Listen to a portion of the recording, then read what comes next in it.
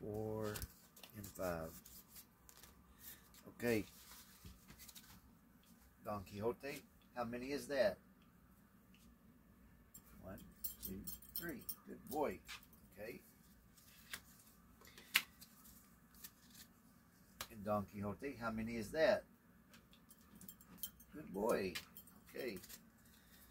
And I think I already did that one. Here we go.